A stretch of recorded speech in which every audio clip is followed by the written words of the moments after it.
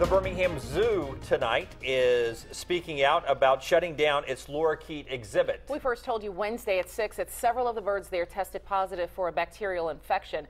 WIAT 42 News reporter Stefan Dingle is live at the zoo with more on what this could mean for you and your family. Stefan? Yeah, sure. well, it can mean a lot for viewers at home. They're calling it chlamydia psittacosis. That's what a few birds here at the Birmingham Zoo recently tested positive for. And although, although there's a small chance, humans can get, can get the disease as well. At the Birmingham Zoo, parents take their kids to see lions, tigers, bears, and birds. A few birds at the zoo's lorikeet aviary tested positive for a bacterium called Chlamydophila psittaci. Well, try saying that five times fast. The disease from that bacterium is called psittacosis. We closed the aviary as a precaution. Uh, at that point, we didn't know if there was only one bird infected and we had the case moved to the health center or if we had more than one bird.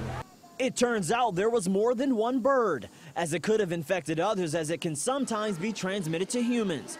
The Alabama Department of Public Health urged visitors like Andy Caliendo, who visited the aviary in the past 30 days, to take notice. And um, immediately went to the website to see if there's anything I had to do. Um, did I need to call my doctor? Did I need to uh, worry about getting on medicine? Um, but I was definitely nervous when I heard about it.